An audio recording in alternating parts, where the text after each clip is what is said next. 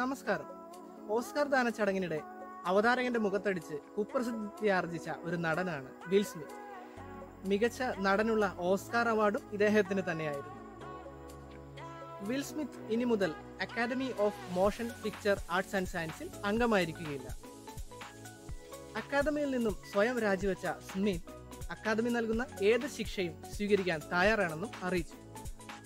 രണ്ടായിരത്തി ഇരുപത്തിരണ്ടിലെ ഓസ്കാർ വേദിയിൽ വെച്ച് തന്റെ ഭാര്യയുടെ രോഗാവസ്ഥയെപ്പറ്റി മോശമായി പ്രതിപാദിച്ചതിനാണ് അവതാരകന്റെ മുഖത്ത് സ്മിത്ത് അടിച്ചത്.